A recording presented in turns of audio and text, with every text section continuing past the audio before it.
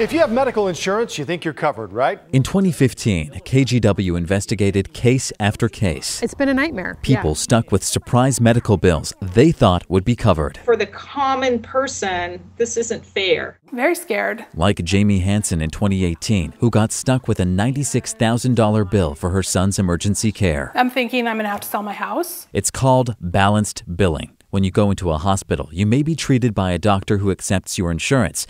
But if someone else comes in to help who isn't in network, the patient is likely to end up with a separate bill from that provider. It's ruined people's lives. In late 2020, former President Trump signed the No Surprises Act, banning balanced billing. The federal law is now in effect as of 2022. It's going to really protect consumers of healthcare. Dr. James Polo with Regence Blue Cross Blue Shield says now providers must give clear, upfront information about billing and the appeal process if there's a problem. When you go to a hospital, you just assume everybody, quote, works for the hospital. And that's just not the case. Those providers and those healthcare systems have to figure out how to appropriately work together but without moving that expense onto the consumer. The out of network pitfalls are still there, but the transparency is now supposed to get better.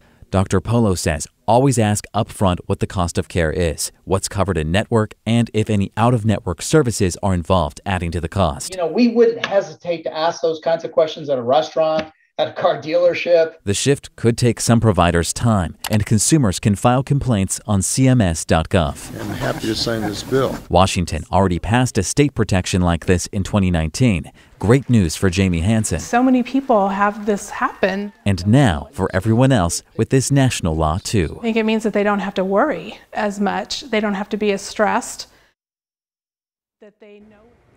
Now, Regence says if you do get a bill that you don't understand, always contact your insurance provider first. They can help break down the coverage and if there are any mistakes. Back to you. Yeah, important law there, Galen. Thank you.